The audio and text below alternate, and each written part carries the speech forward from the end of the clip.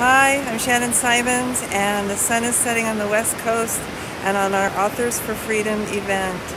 Um, today is the day. Yesterday we rose up to help Operation Underground Railroad raise funds to rescue children and take care of them afterwards and to train law enforcement. Today is the day to lay down and take a nap and to read a really good book. We have 85 authors who have become authors for freedom.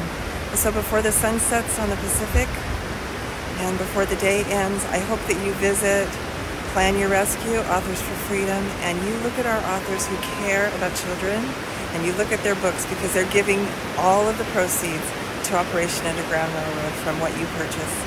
Um, we have also given all of the authors a little badge for their websites and for um, everything that they do in 2020 to say they care about our Operation Underground Railroad. If you don't know about